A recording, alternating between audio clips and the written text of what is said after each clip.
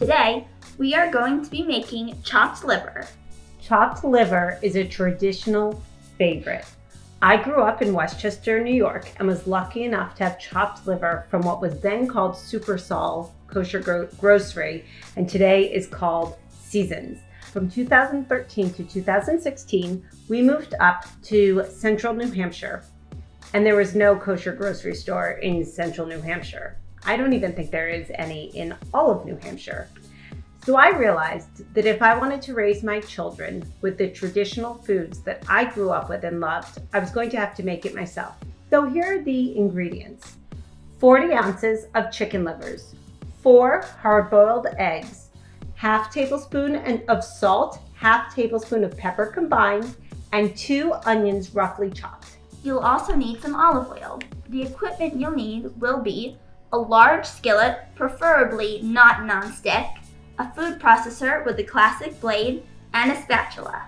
Let's get cooking! The first step is to oil your skillet and put in your onions. While the onions are cooking, let's season our chicken livers. After your livers have been seasoned and while your onions are still cooking, let's chop the eggs.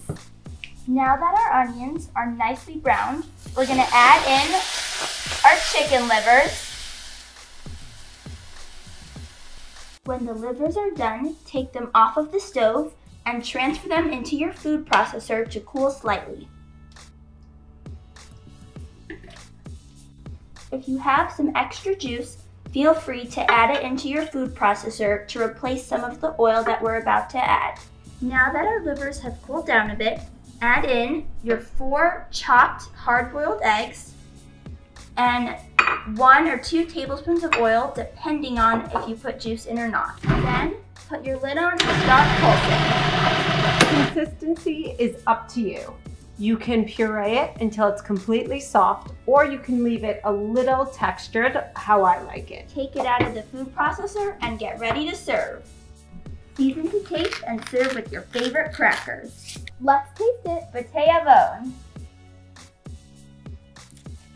Mm. Wow. Delicious.